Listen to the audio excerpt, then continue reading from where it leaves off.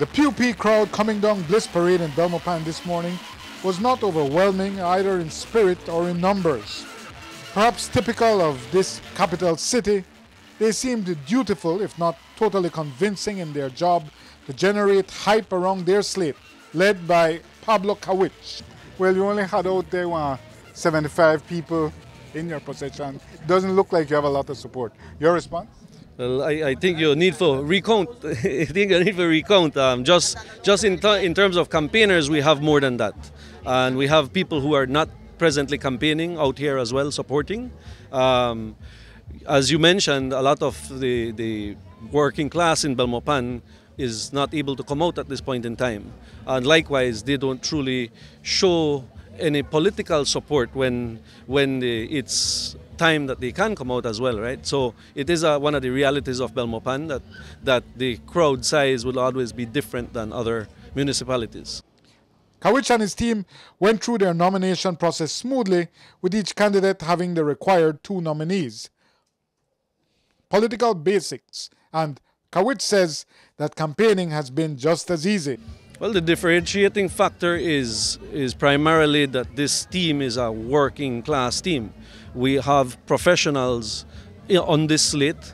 Uh, I myself have worked in the technology profession for 23 years.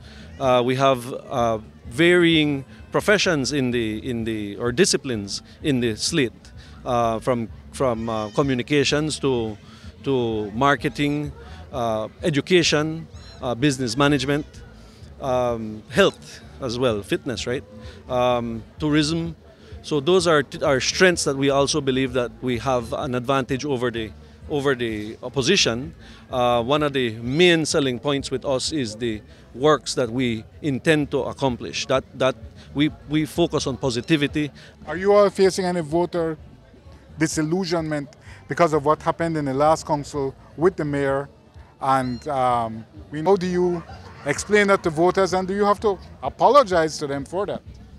Well, I cannot really apologize for something that I had no control over. Um, when it comes to to relationships, my leadership is a completely different type of leadership. I understand what you're saying that you have a different approach to relationships, but at the same time, the voters feel that they were defrauded by the PUP in terms of, well, we vote for a councillor and work with central government, and all we got was endless fighting. How do you make that up with them? Well, regarding the, the present council itself, uh, the voters in Belmopan are not concerned, are not really concerned, or, or are not expressing any concern with that uh, in this run after the, the convention itself. Prior to the convention, that topic was a very uh, hot topic for the residents.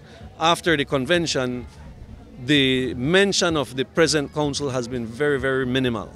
And that minimal residual damage is why Kawich says his team will sail to victory. Well, the outcome, in our view and analysis, will be a landslide. Um, that is the feedback we're getting from residents. In terms of John Saldivar, well, in my personal view, I cannot speak for anybody else. His time has come to an end, and it's time for the UDP to move on to new uh, candidates.